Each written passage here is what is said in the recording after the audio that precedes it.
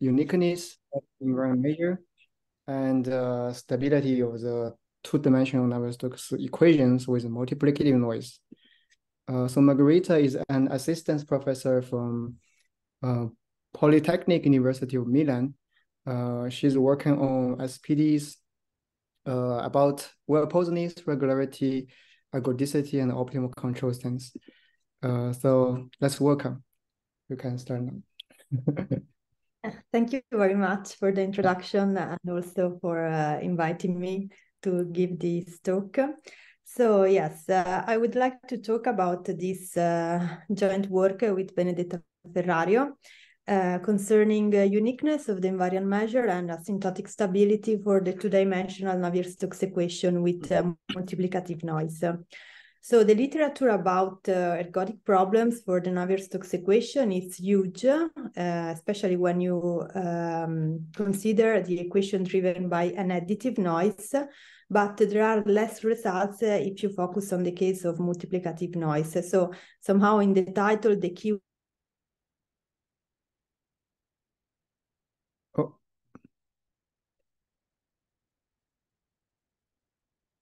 Is it just me or? Do you have internet Yeah. network. No, I think that internet cut Okay. Okay. Okay, I sorry. You're back. I don't understand what happened. Probably Okay, some sorry. internet issues. Yeah, No I think I don't. Yeah. Okay. Uh, so the keyword uh, somehow in this uh, title is multiplicative. Okay, so this is uh, the novel part, uh, the novelty of our work. So for this reason, I decided to divide the, the talk into, in two parts. So in the first part, I will recall the Navier-Stokes and recall some results concerning ergodic um, results for the case of an additive noise.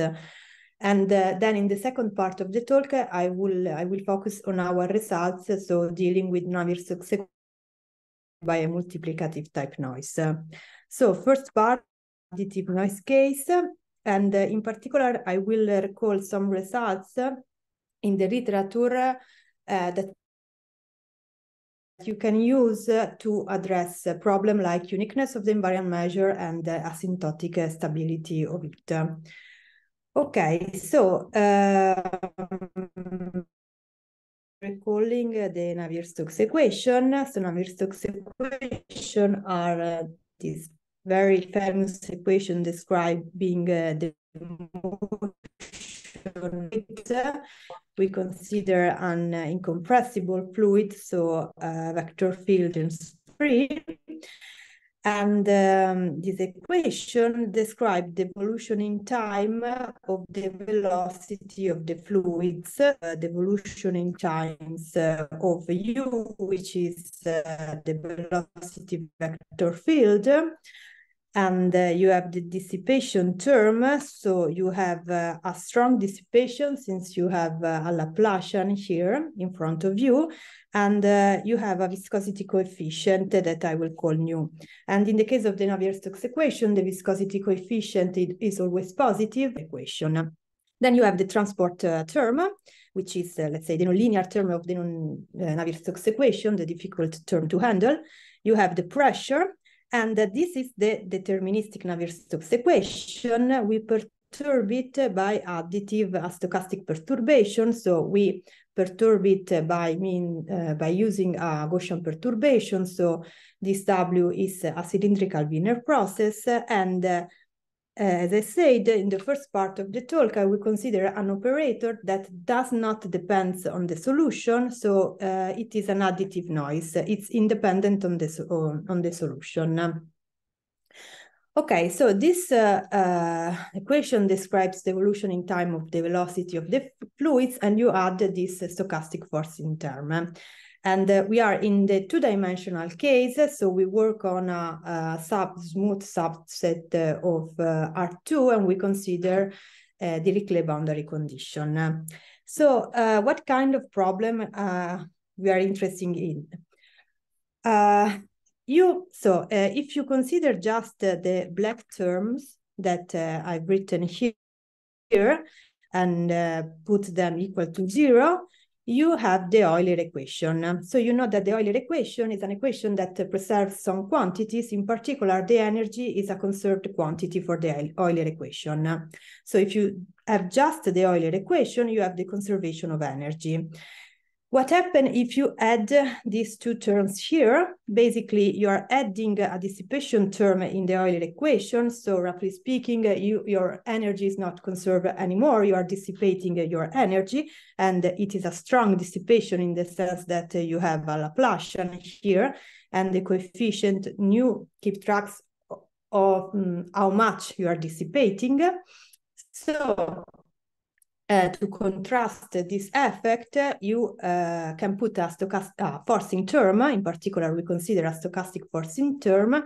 And so the effect of this term, roughly speaking, is to inject energy in your system. So roughly speaking, you can uh, think about the stochastic uh, Navier-Stokes equation as a sort of perturbation of the Euler equa equation, and the effect of these two terms is to dissipate the energy and inject the energy. So the energy is not conserved anymore, but uh, you can ask if somehow there is a balance between these two effects, and uh, this balance uh, at the end of the day will be a sort of statistical equilibrium of your system. So you think about, you talk about, stati uh, about statistical equilibrium because this is a stochastic equation. So the solution is a stochastic process. And so if you want to look at equilibria, you have to look at equilibria in, the, in a probabilistic statistical sense. So your equilibria, more formally, will be the invariant measure of the system. So uh, this slide is just to say that somehow makes sense to uh, ask about uh, the statistical equilibrium of this uh, kind of system, so the existence of invariant measure more formally, and in particular, uh, you ask if this invariant measure is unique, and if it is unique, if the law of the solution process converges to the invariant measure, which means that somehow the invariant measure represents the equilibrium of your system, because when the times goes to infinity, you converges to this uh, equilibrium, which is an invariant measure, and you will remain there forever. Okay, so this is um, um, in a non-formal way, let's say, the problem that we are interested uh, to, to, to solve. And uh, now, uh, in order to make them more uh, formal, I have to um, somehow introduce some notation and um, fix some notation that are um, with divergence-free vector fields. it is common to introduce the phase space H, which is uh, the space of all uh, vector fields that are divergence free and satisfy the boundary condition. And using the Leray-Helmholtz project, we write your Navier-Stokes equation driven by an additive noise as an a space here. So this is the, uh, let's say, abstract way in which you write down the Navier-Stokes equation. This operator A is the projection, Leray projection of minus Laplace, and You have still your um, viscosity nu. This is uh, the nonlinear term, and you still have your stochastic perturbation. And you see that the pressure disappears because you work uh, in this space uh, of divergence-free vector fields. So in this formulation, you don't have to uh, worry about the pressure. You just have an equation for the velocity. If you want, you can recover the, the, pressure um, later on, let's say. Okay, what about the assumption of the noise? For, for the moment, I just uh, assume that, uh, okay, W is a cylindrical Wiener process that takes value in an abstract Hilbert space. And so the role of G is to be an operator that maps uh, U into the phase space where the solution lives. And usually you take Hilbert-Schmidt operator.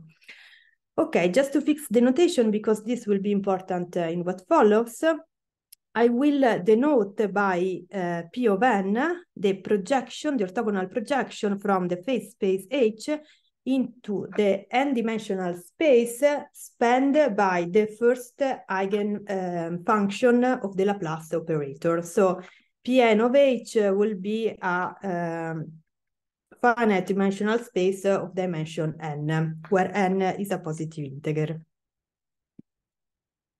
Okay. Okay, now uh, we can introduce more formally the concept of, of invariant measure because uh, it's the, let's say, the what we want to study. So formally, how uh, you, uh, do you introduce an invariant measure? So the idea is that uh, you introduce a family of operators P that uh, actually you can prove that uh, it's a semigroup of operator in this way.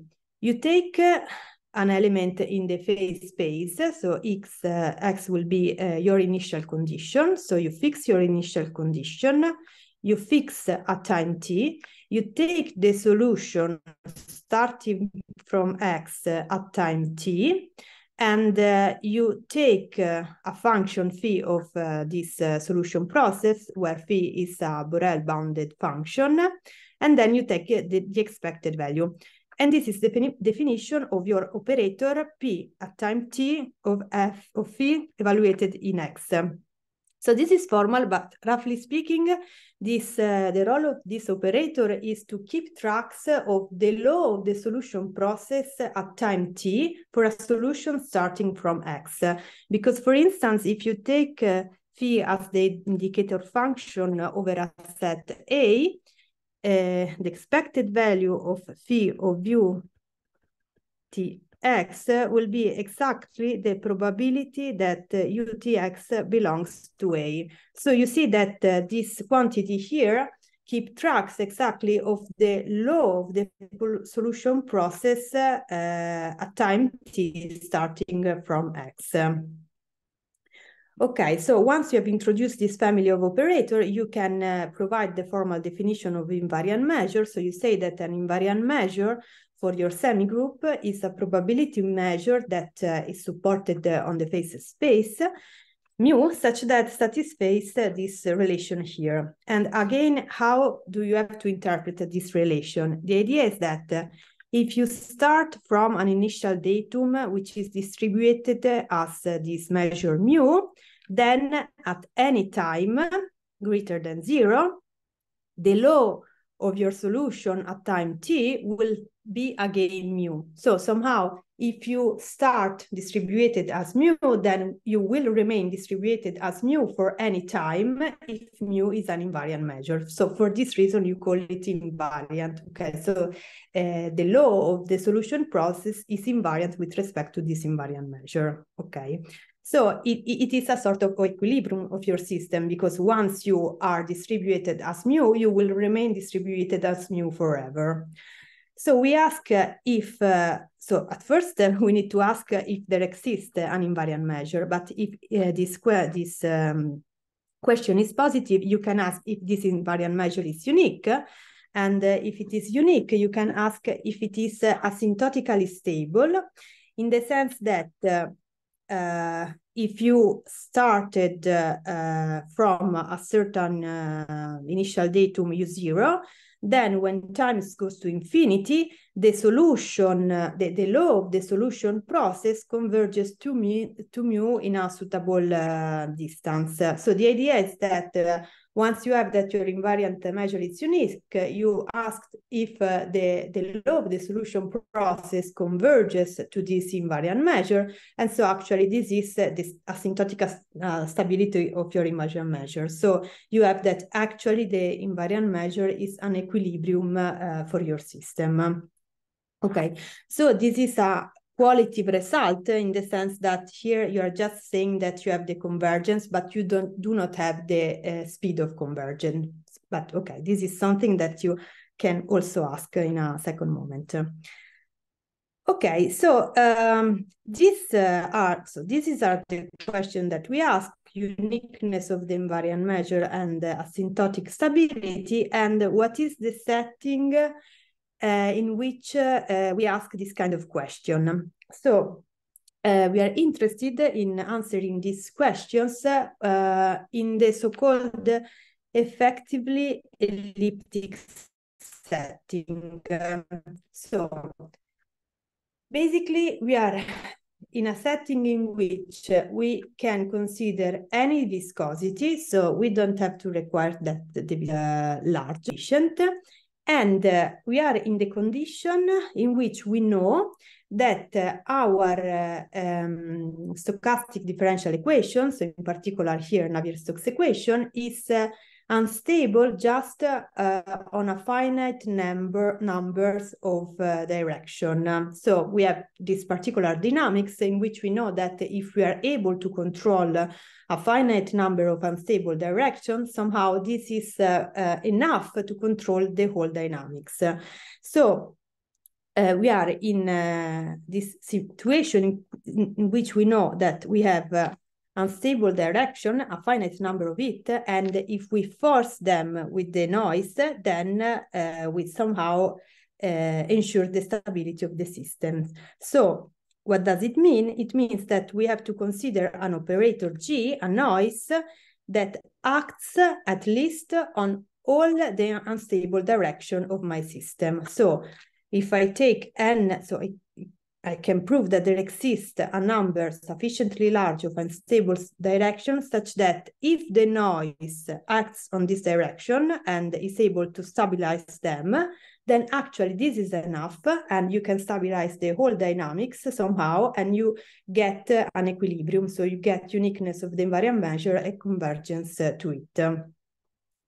So this is uh, the, the setting that is considered in uh, two very nice papers, one uh, by Mattingly, and Richards, and the one by Kulik uh, and Scheutzow. And uh, in these two papers, the, the author build up some asymptotic coupling technique, so some technique that allow to prove, uh, in this case, the uniqueness of the invariant measure in this condition here. So roughly speaking, you have a finite dimensional noise that acts on a sufficiently large number of direction. And in the second paper, the author with mm, under more or less the same condition uh, are able to prove that actually the invariant measure is asymptotically stable. And the technique are some, um, some asymptotic coupling, uh, te coupling techniques. So the results that you can find uh, in uh, this paper are the following. So in the first one by Glatt-Holtz, Mattingly, and Richards, it is proved that given any dissipation, there exists a finite number of direction that depends on the dissipation and the intensity of the noise, such that if the noise acts on all these so the range of the operator G con mm, contain the, the finite dimensional space spanned by the unstable direction, then the Navier-Stokes equation driven by this additive noise has a unique ergodic invariant measure. And Kulik and Scheutzow prove that under more or less the same assumption, this invariant measure is asymptotically stable. So what is the idea? The idea is that uh, for the Navier-Stokes equation, you have a nice behavior in the sense that uh, how was proved in the paper by Foias and Prodi, if you uh, somehow are able to control what happened on a finite dimensional space, so for instance, if you and uh, uh, consider their behavior on a finite dimensional space, so for instance, prove that on this finite dimensional space, the two solution uh, convergence one to another when times goes to infinity, then this is enough to control the whole dynamic. So controlling what happened on a finite dimensional space, it's enough to control uh, to control the whole dynamics. So in a sense, uh, for the Navier-Stokes equation, the dynamics of the high modes, let's say, is uh, enslaved when times goes to infinity to the dynamics on the low modes, so on a finite number of direction. And so what is the role of the noise? The role of the noise is exactly to force this unstable direction to synchronize somehow when times goes to infinity, you take to solution. When times goes to infinity on this finite dimensional space, the noise uh, um, acts as something that synchronizes the two solution at infinity. And uh, this is enough to control the whole dynamics. Um, okay, so this is the idea somehow. Uh, and um, so, uh, what is the technique? The technique are uh, this technique are uh, asymptotic coupling techniques. So I, I don't want to give the idea of uh, what uh, you have to construct and prove uh, to to get this uniqueness and asymptotic stability of the invariant measure. So if you look in this paper, they provide this quite simple technique to, to, to get these results. So what is the idea? The idea is that you start from your Navier-Stokes equation driven by an additive noise, um, and you construct a modification of this Navier-Stokes equation, and I call this modification V tilde. Okay, so uh, in order to get uniqueness of the invariant measure, this modification V tilde that you construct has to satisfy some property. So at first, uh, the law of the original system and the law of this modification has to be absolutely continuous on the uh, space of trajectories. Okay, so you don't need that the law of the solution has to be the same, but they just have to be absolutely continuous, uh, one respect to the other. And then you have to be sure that if you take two in different initial conditions, and if you take the solution of the original system starting from X and the solution of this modified system starting from uh, Y, you take the difference in a suitable norm. So for instance, we can work uh, uh, with the H norm. You take the difference and if you prove that when times goes to infinity, the difference goes to zero on a set of positive probability, then this is enough to get uniqueness of the invariant measure.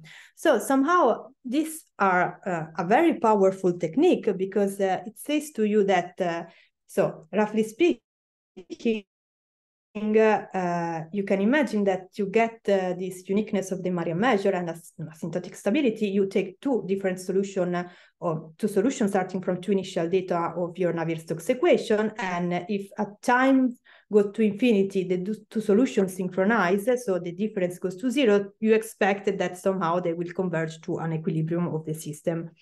But with this technique, you are requiring less more because uh, you you can work with a modification and uh, the law of this modification and just to be absolutely continuous and not and not equal and uh, then you just uh, need to know what happens when times goes to infinity on a set of positive probability so neither almost surely but uh, so it's a, it's it's really powerful uh, uh, tool to get uniqueness of the invariant measure.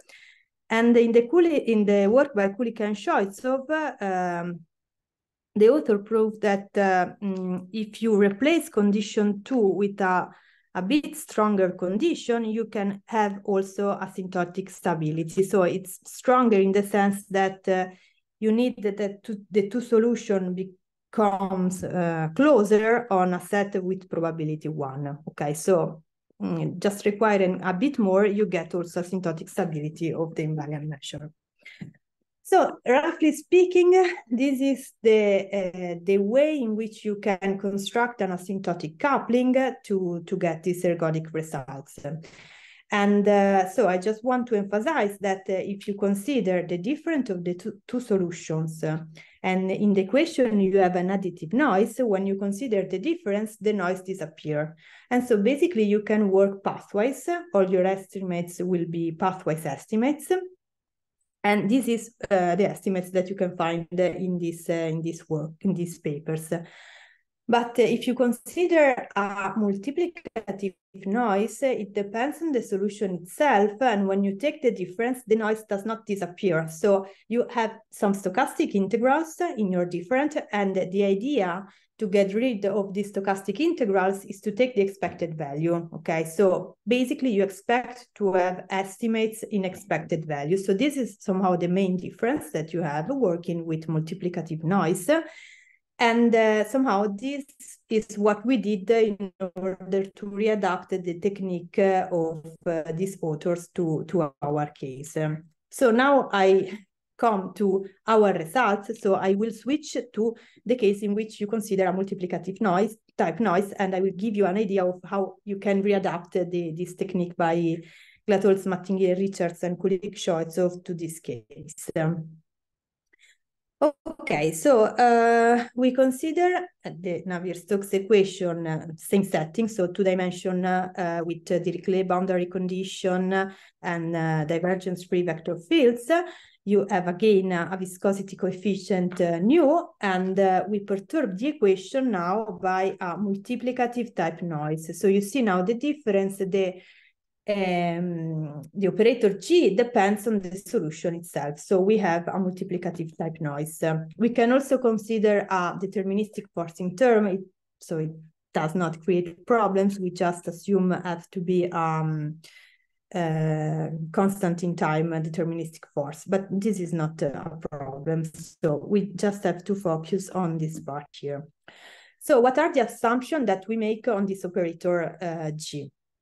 So um, the first assumption is a kind of standard assumption. It's a, a, a Lipschitz continuous assumption in the space of Hilbert Schmidt uh, operators. So this is standard. Uh, is needed to get uniqueness, for instance.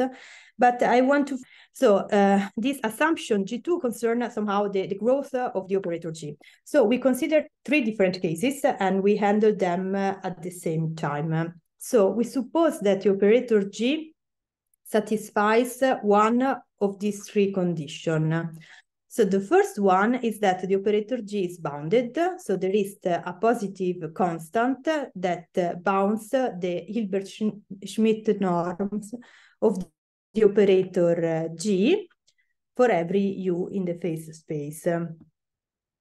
Or we can assume that the operator G has a sublinear growth which means that uh, we assume that there exist two positive constants, K2 and K2 tilde, and a number strictly uh, less than one, such that uh, the, the norm, the Hilbert-Schmidt norm of G grows at most in a sublinear way, in the sense that here gamma is less than one, strictly less than one. And uh, somehow these two constants keep tracks of the additive part of the noise and the multiplicative part of the noise. So the K2 tilde is the more or less the intensity of the multiplicative part of the noise, and K2 is the intensity of the, roughly speaking, of course, the intensity of the additive part of the noise.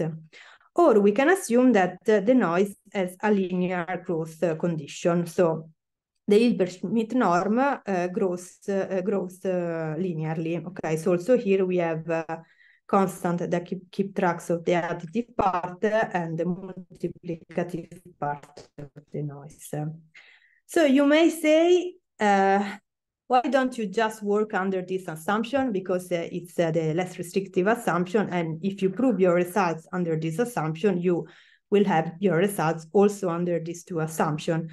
That's true, but um, you will see in a moment why I I decided to keep them uh, separately because uh, somehow, according to the assumption that you have on the noise, you will have different uh, behavior uh, for, for, the solution process. so this will be clear in a moment. And the second assumption that we make G3 is uh, a non-degenerate assumption that uh, resembles the one that you can find in the case uh, of analytic noise. So the idea is that uh, uh, we suppose the existence of an integer, positive integer m such that uh, given our operator G, of u for any u, dimensional space given by the projection PM of the phase space. Okay, takes that it satisfies this relation here, so it's an inverse on this finite dimensional space, and we also assume that this inverse is uniformly bounded.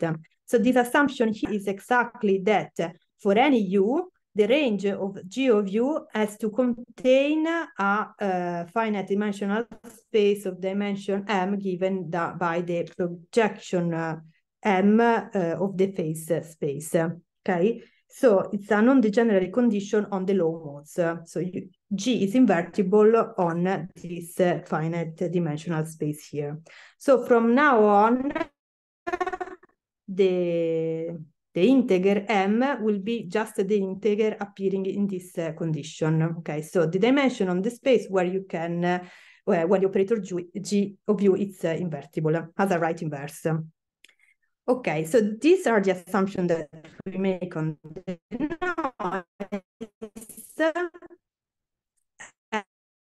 And uh, so now we can start to address our problem. So first of all, of course, you have to be sure that you have uh, a unique solution of your problems. Um, and so you can find the, uh, for example, in the paper by Flandoli and Gatarek, uh, the existence of a unique solution for the Navier-Stokes equation driven by a multiplicative noise satisfies uh, a linear growth condition. So in author prove also that there exists at least one invariant measure different uh, difference that you have according to the different assumption. Because in the paper, it is proved that uh, if you work with the, a noise which is bounded or has a sublinear growth condition, then you get given an anticipation but if you have a noise um, that uh, has a linear growth, so you, if you are under this assumption here, linear growth condition, then there exists at least one invariant measure if you impose uh, this condition here, multiplicative part of the noise, so key, uh, K3 is exactly the I'm a, I'm a greater. here, so keep tracks of the multiplicative part of the operators. So this means that somehow this condition depends also on. Can you hear me? Uh, yeah, it seems the Can internet, uh, your internet is not so good. So uh, I think it may help if you um, uh, if you stop the video or something like this because the internet. I can uh, switch. Okay, okay. Yeah, sorry. Uh, Okay, can you hear me? Uh, yes, it is good now. Okay, sorry. Uh, oh, a connection, I think. Um, so when you have a noise with a linear growth condition, then uh, you have to impose uh, some, some um, this condition here. Okay, so let us come to our result. And uh, uh, so what is our result? Um, basically, uh, we are in a similar situation.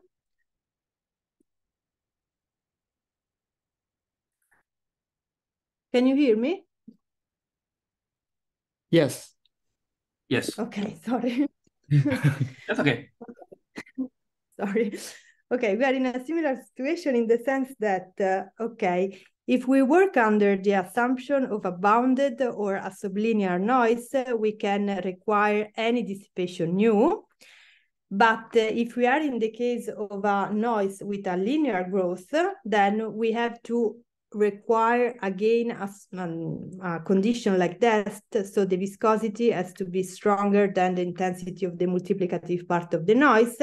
And this is a less a strong assumption with respect Mm, than the assumption that you had just for existence of the invariant measure. So the idea is that, okay, under the different assumption of the noise, you can prove that there exists a, an integer that depends on the parameter, uh, parameter of the equation, which is big enough such that if your assumption G3 holds for some m greater or equal than n bar, then you have at most one invariant measure. So what this sentence does it mean? It means that uh, if uh, the range of G of u of your noise uh, contains um, all the unstable directions, somehow all the direction that are least equal uh, or greater than uh, n bar, then you get uh, a unique invariant measure. So like in the additive noise case, basically you are requiring that uh, the noises, the noise stabilize all the unstable direction. So uh, you prove that there are n bar unstable directions such that if your noise acts at least on this unstable direction, then you can have at most one ergodic invariant measure. Okay, so this is a more complicated way uh, to formulate, roughly speaking, this uh, the this condition here that you have uh, in the additive noise case. but now you have G of u somehow. But the idea is the same. Okay, so under this uh, condition, then you get uniqueness of the invariant measure. So how do we prove this result? The, res the idea is to use the asymptotic coupling technique of Glatt-Holtz, Mattingly, and Richards. And so we need to construct this asymptotic coupling and we uh, divide the construction in two steps. So we introduce two auxiliary systems. Okay, I just recall you what, what were the idea. The idea is that was to, um, to introduce a modification such that uh, its law was equivalent to the law of the original system and uh, uh, when times goes to infinity on a set of probability a positive probability, the difference of the two solutions converges to zero. So now we want to construct uh, this suitable modification V tilde, and we do it in two steps. Um, so the first step is the following. So we introduced, I called it uh, a system. So we consider uh, the solution of our Navier-Stokes equation, and then we introduce uh, this nudged uh, system. So what is the idea? The idea is that uh, I consider the Navier-Stokes equation with a multiplicative noise, and I call it V, and I perturb it by this finite dimensional control. So what is this, the effect of this control? I take the difference between the original solution and the solution V of this equation, and I consider this difference just on a finite dimensional space of dimension n, and I put a, a constant in front of it, and this constant will be uh, chosen in a suitable way. So what is the effect? The effect somehow is that on a finite dimensional space of dimension n, uh, um, when times goes to infinity, u converges to v. So the idea is that uh, you have a control on uh, what happened to the difference of u and u and v on a finite dimensional uh, space. And uh, somehow you ask uh, if this is enough to control what happened for the whole difference. So not just on a finite dimensional space, but uh, on the whole space. And this is what we prove, and we call it Foias-Prodi estimates because it's somehow the, the, the idea that is uh, in the paper by Foias and Prodi. If you control what happened on a finite dimensional space, then you know what happened uh, for uh, the whole system. So we prove exactly this, uh, this kind of result. We prove that under the different assumption on the noise, there exists a, a number sufficiently large, and n bar, such that if this n, so this number that appears here in the equation is greater or equal to n bar, so it means that I'm controlling a sufficiently larger number of direction, then given any initial data, the difference of the two solutions starting from these two initial data in the H norm, if I take the expected value, converges to zero um, with, with, different uh, rate of convergence. But the idea is that I'm control. I, I put a control that tells me what happened on the difference between U and V on this finite dimensional space. And if n is suitably large, then I can actually have a control on the difference of uh, the two solutions in the phase space. And uh, since I have a multiplicative noise, I have to take an expectation here to get rid, roughly speaking, to get rid of the stochastic integrals. And here you see uh, what happened according to the different assumption of the noise. So if you have a bounded noise, you have that this difference converges to zero exponentially in time.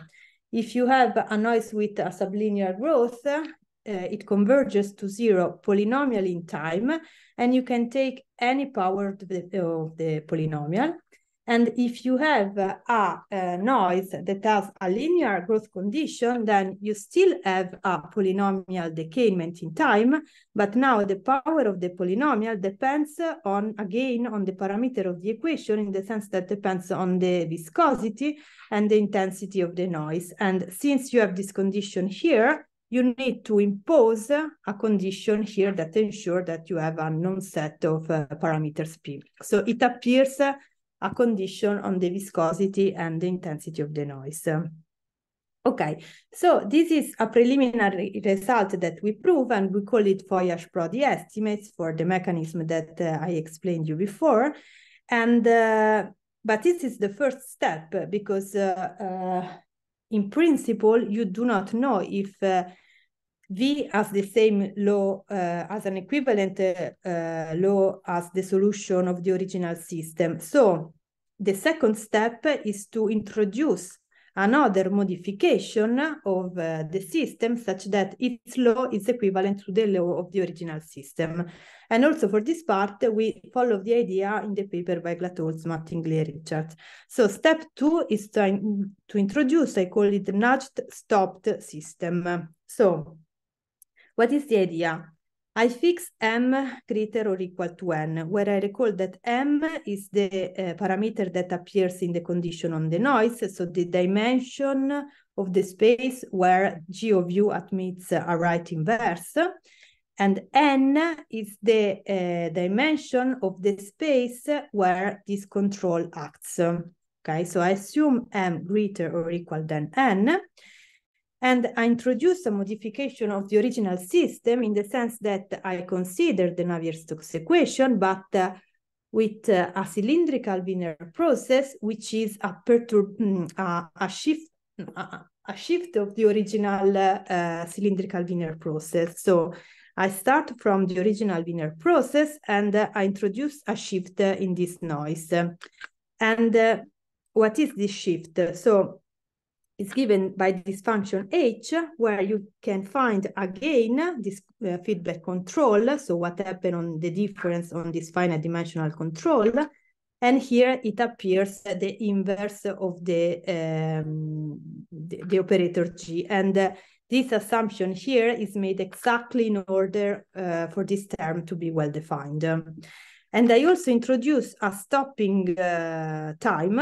So I introduce an indicator function over this stopping time sigma k that somehow controls uh, the, the um, uh, how much the, the two solution uh, diverge somehow. So uh, I take again the, the finite dimensional uh, projection of the different of the solution and somehow I control um, their growth. Okay. So since I've put here this stopping time here, uh, you can verify that the um, Novikov condition of the Girsanov theorem is satisfied. And so this means that uh, um, this is a nice shift in the sense that uh, the law of the original uh, Wiener process is equivalent to the law of this modified Wiener process. And in turn, the law of uh, this uh, modification V tilde is equivalent uh, of the law of the original system on the space of trajectory. So I was able to construct a modification of the original system such that its law is equivalent to the law of the original system. And uh, the second fact uh, that I will uh, use is the fact that uh, when you work uh, on this set here, so when the stopping time is equal to infinity, this indicator function is equal to one. And uh, so the, let's say, the, the, the, perturbation that appears in the equation for V tilde is the same that appears in the equation for V. And so, oops, sorry. And so on, um, on this space here, you actually have that uh, the, the solution of the nudged system is equal to the solution of the nudged stopped system, okay? So I can now put together all these facts to prove uniqueness of the invariant measure. What is the idea? The idea is that, okay, I have constructed this modification V tilde as the solution of this nudged stop system. And uh, I proved that its law is equivalent to the solution of the original system, provided that this condition holds true. So m is greater or equal to n. Now it remains to prove that on a set of positive probability, the difference of the original, the original system and this modified system goes to zero when times goes to infinity. Okay, so in order to prove uh, this uh, uh, estimate here, what we use? We use the Foias-Prodi estimates, so the estimates that uh, tells how uh, the difference of uh, u and v converges to zero when times goes to infinity in expected value. And we know that this estimate holds if you consider u and the first modification v. And you know that this estimate holds true when uh, the, the control that you have put in the equation for v is at least equal to a certain n bar that you prove exists and then use the fact that on a set uh, uh, that controls the stopping time, you actually have that V is equal to V tilde. So if you put together all these uh, facts, you have that you have two estimates, the probability here, where you have the solution of the original system and the system whose law is equivalent to the original system. This is greater or equal to the same event uh, intersecated with uh, this event here, just uh, the properties of the probability. But you know that on this event, V is equal to V tilde. So you actually can consider the difference of V and U, but you can control the difference of V and U because you have the Foias-Prodi estimates. And here I skip all the computation, but uh, basically uh, using the Foias-Prodi estimates, you can prove that actually this is an event with positive probability.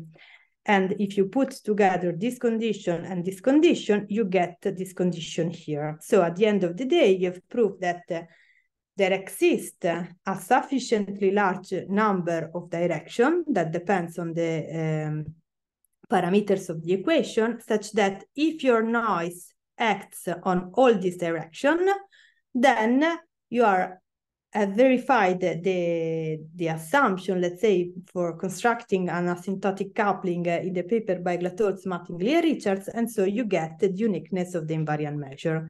So the idea is similar to, um, to the idea that you can find in that paper, but you have to be careful because you cannot work pathwise. You have uh, um, estimates in expected value. So in this computation here, somehow you have to readjust uh, that, that part.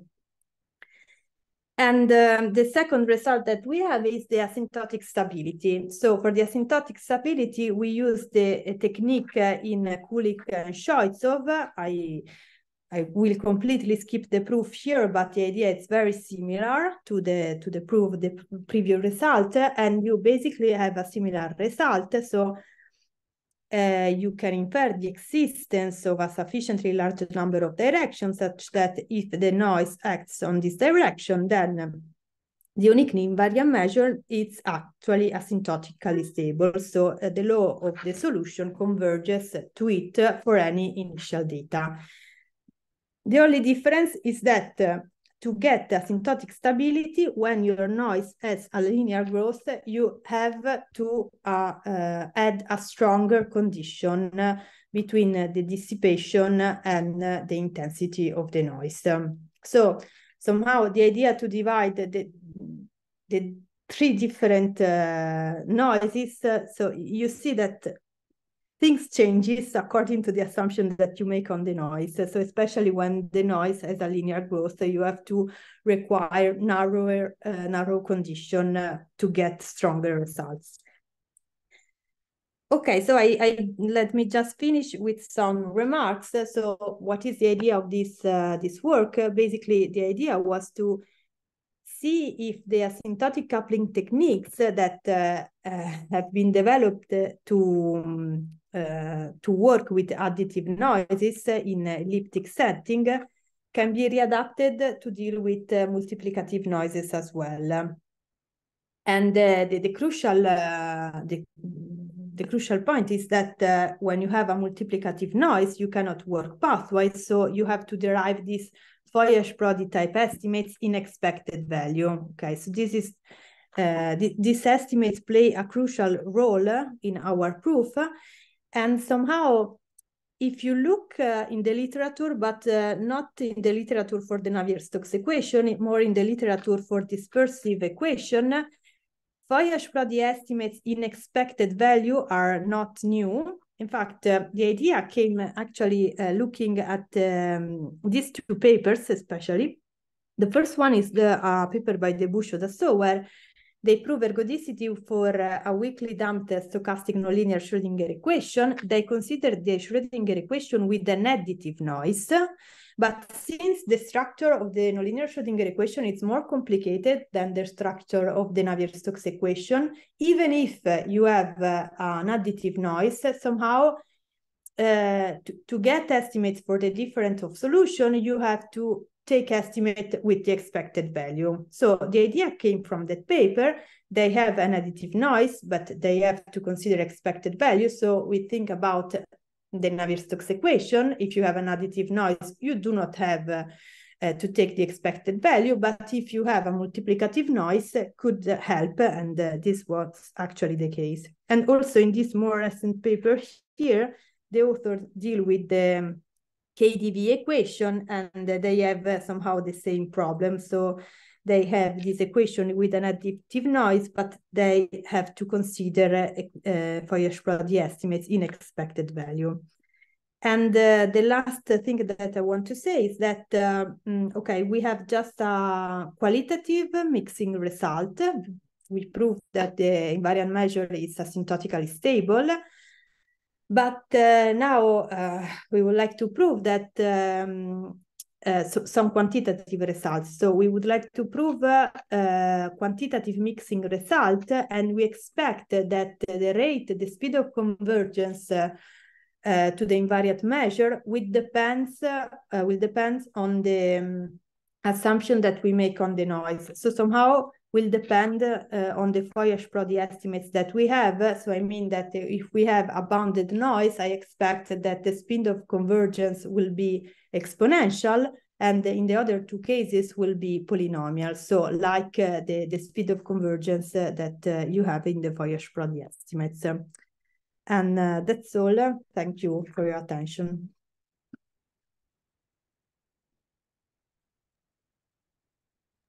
Any questions?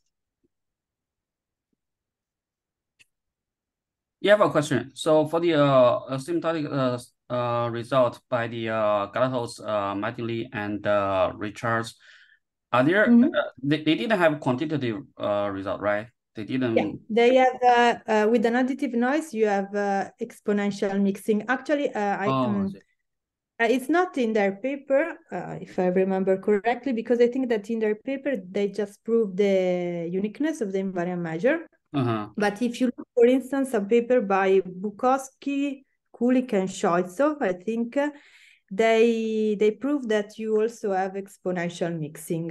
So uh-huh. let's say if you have an additive noise, you have an exponential mixing, and it is what I expect for a bounded noise that mostly resemble the, the case of an additive noise. Mm-hmm. And uh, yeah, I but I think that uh, yeah, it's uh, it's in, more in the pa- this paper by um, Butkovsky, Kulik, and Scheutzow, uh, the the rate of convergence.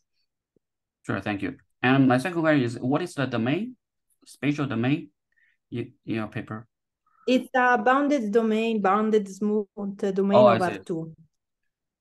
yeah, we work in two dimension because we have uniqueness of the invariant measure, and so we can introduce uh, the the semi group of operator uh, this this this family of operator. So uh -huh. in uh-huh. order to prove that it is a group, you need uniqueness, and so all the construction to get uh, invariant measure, you need uniqueness of the solution. So we we just uh, deal with the two dimensional case. Mm -hmm. Sure, thank you.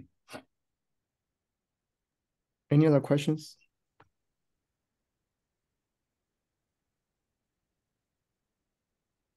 So I'm interested in the structure of the multiplicative noise that is allowed in your in your work.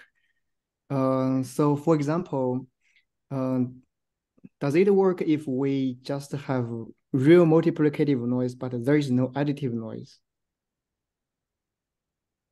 Uh, so what do you mean? Sorry, I didn't. So for example, if the GU